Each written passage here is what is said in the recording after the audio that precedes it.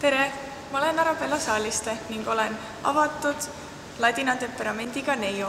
olen ka varasemalt mitmetel iludusvõistlustel osalenud ning rahvusvaheliselt Eestit esindamas käinud. hetkel olen viie tiitli omanik ning osalen ka see aasta Eesti iluduskuninganna võistlusel. vabal ajal tegelen modellinduse, isikubrändingu ning tantsimisega. aitäh! tere, minu nimi on Eliise Randma ning osalen Eesti iluduskuninganna võistlusel. Olen varem Eestit esindanud rahvusvahelisel missivõistlusel Miss Grand International. minu suureks kireks on tantsimine, millega olen tegelenud juba lasteaiast saadik. lisaks tegelen ka jumestusega ning olen IT-tudeng. mulle meeldivad väljakutsed, seega otsustasin end Eesti iluduskuninganna võistlusel proovile panna.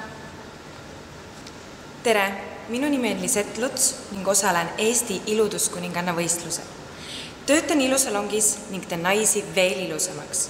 Minu hobideks on modellindus ja tantsimine. iseloomustaksin end paari lausega, ma olen väga särav, julge, otsekohene ning ma armastan adrenaliini.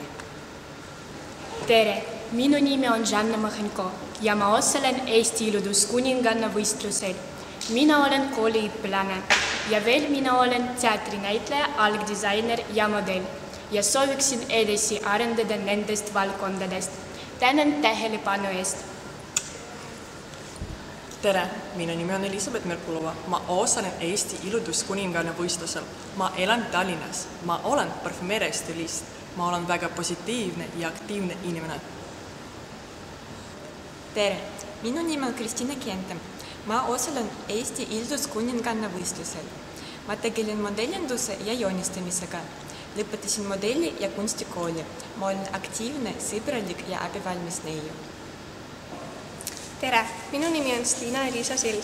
ma osalen Eesti iluduskuninganna võistlusel. ma olen sõbralik ning aktiivne inimene ja täidan oma päevi rohkesti trenni ja tantsimisega